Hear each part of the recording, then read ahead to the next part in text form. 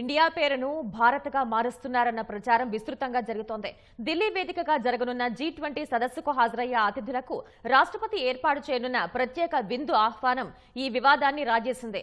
ఆ ఆహ్వాన పత్రికలో ప్రెసిడెంట్ ఆఫ్ ఇండియాకు బదులు ప్రెసిడెంట్ ఆఫ్ భారత్ అని పేర్కొనటంపై రాజకీయ పార్టీలు నేతలు ప్రముఖులు సామాన్యులు మిశ్రమంగా స్పందిస్తున్నారు. అయితే ఇండియా పేరును భారత్గా మార్చవచ్చా? అసలు రాజ్యాంగంలో ఏముంది? సుప్రీంకోర్టు గతంలో ఏం చెప్పింది? పార్లమెంట్లో ఆర్టికల్ వన్ సవరణ సాధ్యమవుతుందా అన్న ప్రశ్నలు ఆసక్తిని రేకెత్తిస్తున్నాయి.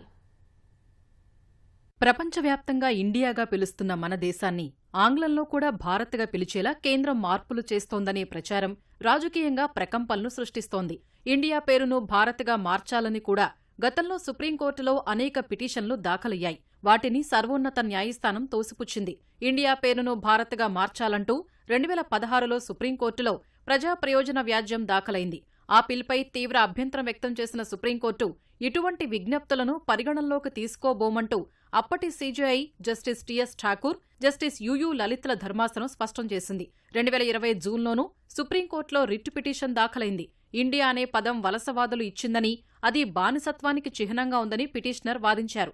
ఆర్టికల్ ఒకటిను సవరించేలా కేంద్రాన్ని ఆదేశించాలని కోరారు. సుప్రీంకోర్టు దాన్ని కూడా తోసిపుచ్చింది. రాజ్యాంగంలో ఇండియా భారత్ రెండు పేర్లు ఉన్నాయని అప్పటి సీజీఐ జస్టిస్ ఎస్ఏ బొబ్డే పేర్కొన్నారు. ఇదే పిటిషన్ను అభ్యర్థనగా మార్చుకుని కేంద్ర ప్రభుత్వానికి విజ్ఞప్తి చేసుకోవచ్చని పిటిషనర్కు సూచించారు. అంతకుముందు రెండు వేల పదిహేనులోనూ ఇదే విషయంపై సుప్రీంకోర్టులో ఓ పిటిషన్ దాఖలైంది.